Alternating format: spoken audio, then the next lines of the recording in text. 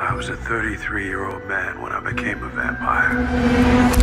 Mr. du Lac, where's your coffin? As a fledgling vampire, I did not readily take to killing. Well, isn't that neat and tidy? Are you hungry, Louis?